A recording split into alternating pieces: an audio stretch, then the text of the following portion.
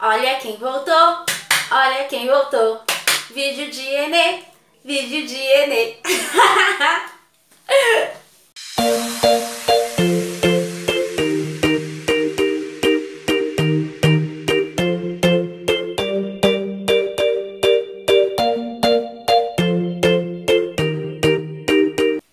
Oi, amores, tudo bem com vocês? Gente, graças a Deus, essa semana feriado, então nada melhor do que aproveitar o feriado pra passar um inezinho no cabelo, né, gente? Cuidar do cabelo, cuidar das madeixas, porque, gente, como eu já disse pra vocês, pra quem não sabe, eu tenho loja online, então assim, ó, é correria total, eu não tenho muito tempo pra nada. E eu quero aproveitar muito esses feriados, né, gente, pra conseguir cuidar de mim, porque final de ano é muita venda, glória a Deus, então é muito corrido. Então chega de falar e bora começar a passar o Enê.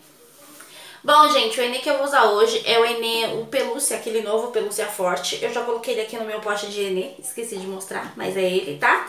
Eu gostei dele, achei que ele tem uma boa consistência, uma boa aplicação.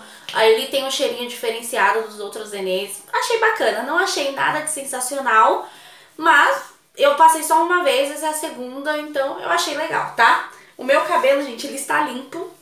Eu lavei ele, hoje é segunda, hoje é pré-feriado, amanhã é feriado. Eu lavei ele sábado à noite, sábado à noite? Foi sábado à noite eu lavei ele. Então ele tá muito limpo. Ontem eu só passei uma chapinha nele, ó. Tá vendo? Ele tá bem limpinho, bem limpinho mesmo. E vamos aplicar. Vou usar a mesma técnica de sempre, que eu pego assim, ó, passo de vida assim, que eu tô gostando bastante, coloco duas presilhas, coloco um saco plástico e a toquinha. Antes de eu começar a aplicar, eu quero trocar uma ideia com vocês, coisa rápida pro vídeo não ficar longo. Nos meus últimos vídeos, eu venho recebendo uns comentários de algumas meninas falando assim, que elas usaram o Enê por 15 anos, por 10 anos, e que o Enê não alisa cabelo afro, não alisa gente que tem assim, ó, raiz enrolada mesmo. Que o Enê, de acordo com elas, quando elas usaram, é, não tinha essa coisa de um monte de gente usando Enê, era poucas meninas. E aí elas falam que para quem tem cabelo de ondulado para liso ou tem aquele cabelo cacheado com a raiz lisa, o Enê alisa. Mas pra gente com o cabelo inteiro cacheadão ou afro mesmo, o Enê não alisa. Em contrapartida, tem as meninas de cabelo afro que diz que sim, que alisa. Então, gente, o que eu posso dizer pra você que assim como eu, tenho cabelo crespo, tenho cabelo afro, que meu cabelo é bem cacheadinho mesmo, ele é daqui até a ponta, o que eu tenho pra dizer pra você é o seguinte, uh, eu tenho essa noção que, tipo assim, a raiz, gente, sempre vai crescer, porque pelo menos o meu cabelo ele cresce bem, graças a Deus. Então você tem que ter essa noção. A sua raiz sempre vai crescer e a sua raiz é enrolada. Então, por mais que o Enê alise todo o seu comprimento, a sua raiz sempre vai nascer enrolada. Então não, nunca vai chegar um ponto de você não ter o cabelo enrolado, porque a sua raiz natural é enrolada, entende? Só que assim, é, quando as meninas falam de liso perfeito, na minha visão, é tipo esse liso assim, ó. Que você já consegue usar o seu cabelo natural sem precisar usar uma chapinha. Entendeu? E pra mim, gente, isso já é muito satisfatório, sabe? Que nem o meu cabelo hoje em dia, ele tem a cor que eu gosto, que é bem preto. Ele tem um brilho incrível, ele é muito macio, ele é, pegou, ele é bem encorpado assim, ó, que era uma coisa que eu não tinha quando eu usava progressiva. Então é por isso que eu continuo usando Enê, gente, eu não pretendo parar nunca, sabe? Por mais que, sei lá, minha raiz nunca fique 100% totalmente lisa, gente, é só dar um retoquinho com a chapinha e tá tudo certo. Que nem eu. Eu não passo mais chapinha no, no comprimento do meu cabelo, eu só passo mesmo na raiz, porque daqui pra cá já tá liso. Então, isso já me satisfaz muito em usar Enê, tá? Então, se você tem um cabelo afro como o meu, e você acha que um dia você vai ficar lisa, Pocahontas, pode ser que não aconteça. Então você tem que pensar bem se você quer continuar usando Enê ou não. Enê ou não, tá bom? Fica a dica aí. Então é isso, amores. Vamos começar essa aplicação. Vamos prender um lado aqui. Né? Tudo bem simples, gente. Não tem nada demais, tá? Vou aplicar, deixar agir por uma hora depois eu venho mostrar pra vocês como que ele ficou molhado, como que ele ficou seco. E como eu já falei pra vocês, toda vez que eu aplicar Enê, eu vou fazer meio que um vlogzinho. Então eu vou mostrar pra vocês o que, que eu faço durante essa uma hora que o Enê fica agindo no meu cabelo, beleza? Então, bora começar!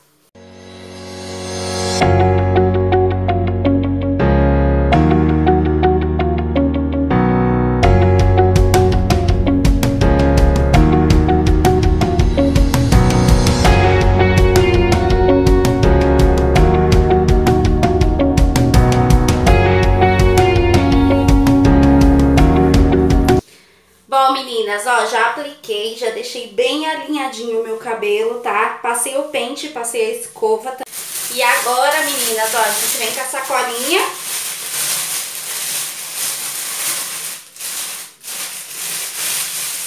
Eu gosto de fazer assim, tá, gente? Eu sei que tem meninas que usam plástico filme e tal. Você usa o que você achar melhorzinho aí, tá? E vou pegar a minha touca, peraí. Ó, gente, essa é minha touquinha de Enê, ela já é toda manchada. Mas ela é boa pra dar aquela aquecida, tá? Eu sempre uso ela, sempre, sempre, sempre. E é isso, tá bom? Agora vamos esperar uma horinha e vamos deixar o Enê agir. E aí a gente lava, shampoo, condicionador, finaliza e aí eu vou mostrar o resultado pra vocês. Enquanto isso, vamos correr e fazer um monte de coisa aqui em casa, tenho muita coisa pra fazer. Começando, né, meninas, por limpar essa bancada que sujou de Enê, o chão. Então, o primeiro passo que a gente vai fazer, né, é limpar esse banheiro, mas eu não lavo, tá, gente, agora, porque depois eu vou ter que tirar o Enê e vai sujar de novo. Então, eu só dou uma limpada mesmo por cima. E depois, quando eu retiro o Enê, eu costumo lavar o banheiro pra deixar tudo clean, tá? Então, vamos arrumar essa bagunça. Bom, meninas, ó, a única coisa que eu faço aqui no banheiro é passar uma buchinha, tá? Assim que aplico o Enê, tá, gente? Você tem que pegar uma buchinha, não precisa nem botar sabão nem nada, só se você quiser mesmo, tá? Mas o que que eu faço? Eu pego uma buchinha, venho e vou passando no lavatório, no chão, nas paredezinhas, todo lugar que espirro o Enê. Pronto, jogou uma aguinha, ó, o banheiro parece que tá zero bala. Limpei até ali na privada. Limpo a porta, porque minha porta é toda branquinha, tá vendo? E já era, gente. Só que você tem que fazer isso assim que aplicar. Senão depois fica podre, tá bom? Agora, meninas, a gente vai arrumar meu quarto, porque está essa maravilha, porque eu acordei, fiquei curtindo preguiça, porque hoje tá um frio, gente, um friozão. Então agora a gente vai arrumar a cama e eu vou mostrar pra vocês que lindo o meu jogo de cama do Flamengo, que eu comprei lá na Mega Veste Casa, que fica no Tietê. E, gente, vocês vão ver a transformação que vai ficar essa cama. Fiquem ligadas que é coisa de segundos.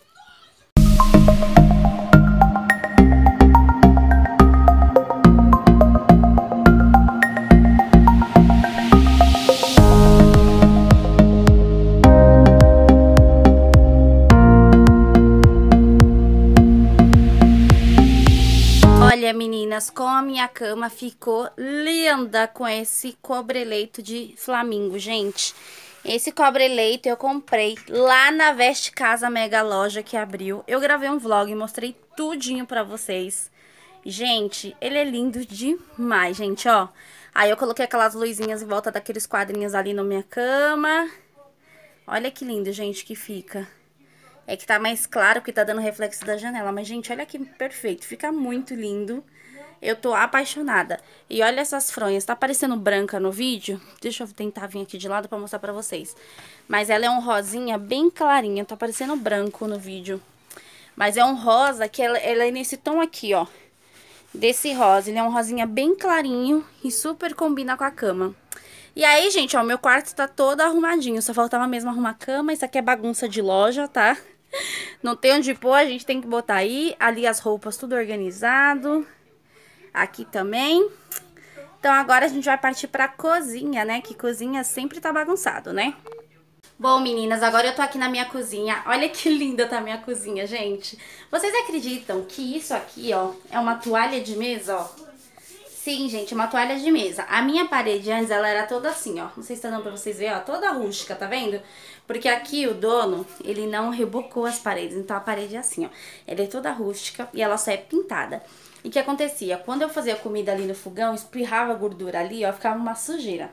Então, o que, que eu resolvi fazer? Eu resolvi, conversando com a minha amiga Doca, com a minha irmã, que também manja muito de artesanato, eu falei pra elas que será que daria certo se eu comprasse uma toalha bem legal, assim, uma toalha de mesa estilo azulejo e colasse na parede? Elas falaram que daria. E foi isso que eu fiz, gente, ó.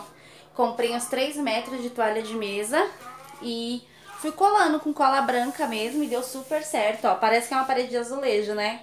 Ou de adesivo, pelo menos, mas não é, gente. É toalha de mesa. E aí eu coloquei esse quadro lindo aqui, ó, que são as regras da casa. Filtrinho de água, meus potinhos com meus condimentos que eu sempre gosto de comer, caneca do Mickey, da Minnie, porque eu amo uma fofura, e é isso, tá bom?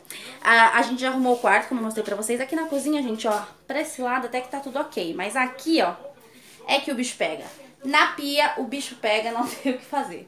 Então agora vamos lavar essa louça, lembrando que a gente só tem uma hora pra fazer tudo isso. Porque daqui a uma horinha a gente tem que lavar o cabelo. Então bora correr, que ainda eu tenho que responder meus clientes, que eles estão assim, ó, me gritando. Eu tenho que editar vídeo, mas não vai dar tempo de fazer isso antes de lavar o cabelo. Mas pelo menos essa louça aqui dá pra nós adiantar. Então bora lá.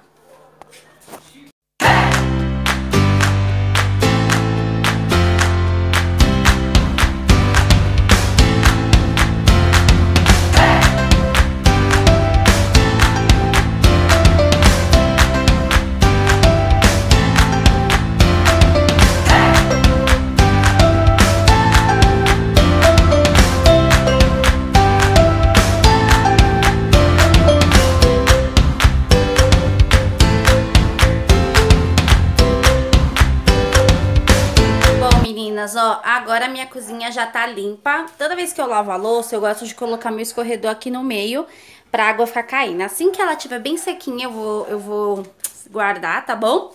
Aqui já tá tudo limpinho também, fogão também. Aí, deixa eu arrumar aqui.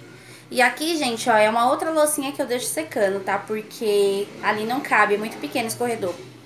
Moto. Gente, olha o estado dessa panela. Meu Deus, que panela velha. Mas é aquela coisa, panela velha faz comida boa, né? Então aqui tá tudo ok, ó. O chão eu só passei uma vassourinha, porque ontem, gente, eu já tinha feito uma mini faxina aqui em casa. Então era só, hoje é só manter mesmo a organização, tá bom? E eu tô aqui assistindo Chaves, né? E agora eu vou sentar aqui no meu escritório. Minha cobertinha já está ali e eu vou trabalhar, gente. Como que trabalho? Eu vou responder postagens de que eu posto no Instagram da minha loja online, vou mostrar pra vocês. Ah, vou falar com clientes, enfim, trabalhar um pouquinho até da hora de tirar o Enê, tá bom? Amores, então, agora eu tô aqui sentada no meu escritório com a minha cobertinha de Enê na cabeça. Daqui a pouco a gente tem que tirar, falta ainda uma meia horinha. E aí eu vou aproveitar para trabalhar. Quando eu falo trabalhar, muita gente pensa, nossa, que moleza, você trabalha em casa, na internet, nossa, que maravilha. Só que, gente, as pessoas quando você fala que trabalha na internet, as pessoas só olham o lado bom. As pessoas só olham essa parte, que é a parte boa. Todo emprego, gente, sendo próprio ou trabalhar para as pessoas tem o lado bom e tem o lado ruim. O lado mais difícil que eu acho do meu trabalho é que se eu não trabalho, eu não tenho dinheiro. Então, assim, diferente de vocês que possam ter um trabalho registrado e tudo mais, é que se vocês não forem trabalhar, o salário de vocês está ali. Todo mês vocês têm o seu salário. Eu não. Que nem eu não tenho décimo terceiro, vocês têm décimo terceiro. Vocês têm férias, eu não tenho férias, porque se eu não trabalho, gente, eu não tenho salário ali de férias pra mim ficar um mês sem trabalhar, entendeu? Então tudo tem um lado bom e tem um lado ruim. Eu tô com meu celular velhinho aqui e que eu quero mostrar pra vocês as minhas lojas online, tá? Eu vou mostrar pra vocês a Infantil Fashion, que é a loja que eu mais estou trabalhando agora, tá? Que é a minha loja de sapatos infantis e tudo mais. E eu tenho também a Garota Estilosa, que é uma loja de moda feminina. Mas atualmente eu também tô vendendo mais sapato lá, então eu vou mostrar um pouquinho pra vocês do meu trabalho. E é isso, gente, sabe? Hoje eu tô trabalhando, tipo, offline. Tô trabalhando em escritório, tô trabalhando em casa, respondendo as clientes e tudo mais. Mas a maioria dos dias na semana eu tô na rua. Então eu tô no correio, ou eu tô indo em alguma estação de trem, de metrô, encontrar com as clientes, ou eu tô resolvendo algum problema da loja, ou eu tô indo buscar mercadoria. Então, assim, gente, minha vida é muito, muito, muito corrida.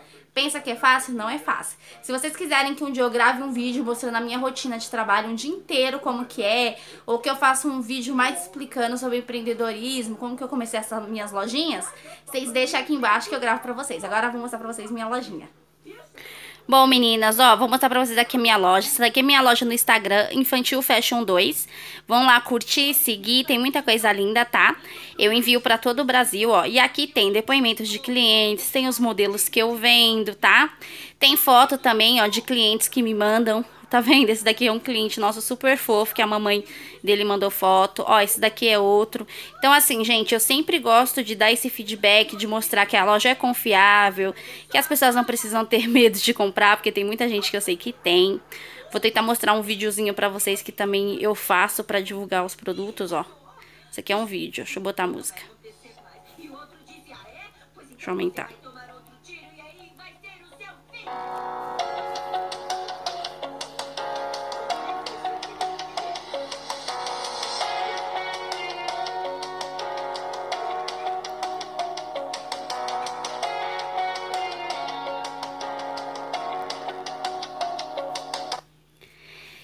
Gente, ó, essa daqui é a minha loja Infantil Fashion, tá? Vou deixar o link aqui pra vocês irem lá conhecer e curtir e comprar coisas para os seus babies, tá? A gente trabalha com sapato pra criança até tamanho 33, tá bom? Agora vamos pra segunda loja. Bom, meninas, a minha segunda lojinha é a Garota Estilosa, loja 2. Ah, no momento eu tô fazendo ela de tênis feminino. Antes eu vendia tudo, gente. Eu vendia roupa, sapato, tudo. Só que eu tô focando agora mais em sapatos, então... É isso, ó. Esse modelo aqui, gente, é a nova tendência, que é o Vans Tratorado. Eu tenho ele aqui, eu vou mostrar pra vocês. Ele é maravilhoso, tá? E, ó, a gente vende vários modelos. A gente trabalha muito com réplica, tá? Então tem Vans, tem Adidas Superstar, tem Carmen Stephans, tem muitos modelos, gente. Tem bolsa também, tem da Guxi. Aí aqui era quando a gente tava começando a vender umas roupas, tá? A gente vendia calça jeans, ó, esse modelo aqui é lindo, gente, ó. É o Adidas Slim, super confortável e lindo. A minha amiga Carol Diário tem ele. Ó, a gente também vende roupa plus size, tá? Plus size normal também, ó, pra vocês darem uma olhada. Tudo da moda, gente. Tudo de lindo, maravilhoso que vocês imaginar, a gente tem aqui na loja, tá? Então é isso, eu vou colocar um videozinho também que eu criei aqui pra vocês verem como é lindo esse tênis.